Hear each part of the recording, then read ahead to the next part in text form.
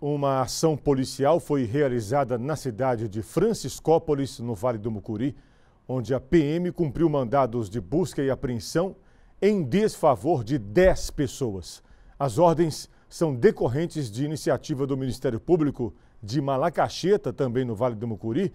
que, fundamentado em relatório enviado pela Polícia Militar, dando notícia de diversas denúncias referentes ao tráfico, solicitou as, as diligências ao Poder Judiciário. Foram alcançados os seguintes resultados: quatro prisões por crime ambiental, uma por tráfico de drogas e porte ilegal de arma de fogo, uma apreensão de pistola calibre 380, mesmo calibre de uma das armas utilizadas no homicídio ocorrido em Franciscópolis no último fim de semana, 30 munições de calibre 380, drogas e também alguns celulares.